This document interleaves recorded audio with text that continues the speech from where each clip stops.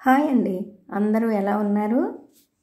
ఈరోజు వామాకుతో healthy recipe చేసుకుందాం.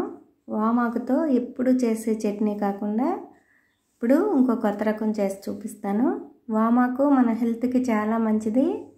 జీర్ణశక్తి మెరుగుపరచడానికి చాలా ఉపయోగపడుతుంది. ఇప్పుడు దాన్ని పెరుగులో వేసి చట్నీ పెరుగు తాలింపు ఎలా చేసుకోవాలో చూసేయండి. చాలా టేస్ట్గా ఉంటుంది. శుభ్రంగా కడిగి తీసుకున్న వామాకులు. ఇది వామాకు కుండీలోనే ఈజీగా పెంచుకున్నది. ఎవరైనా ఈజీగా పెంచుకోవచ్చు. ఒక పది పన్నెండు ఆకులు తీసుకుని శుభ్రంగా కడిగి ఆరిన ఆకులు మిక్సీ జార్లో అన్నీ తుంపి వేసుకోవాలి. వామాకులు వేసుకుని మీ కారానికి తగినట్టు నేను నాలుగు పచ్చిమిర్చి వేస్తున్నాను.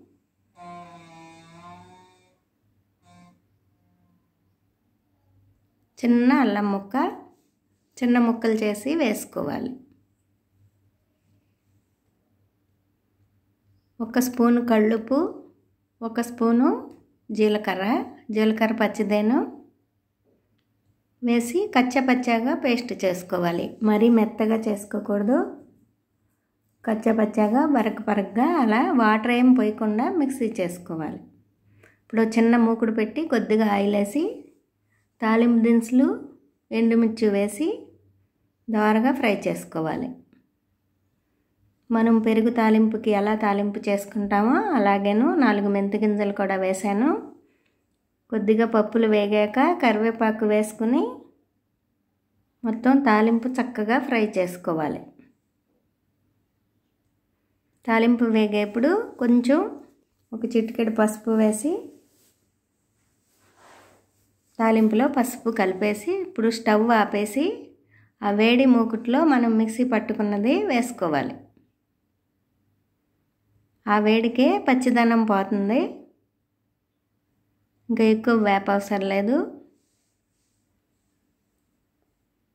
ఆకు పచ్చదనం పోయి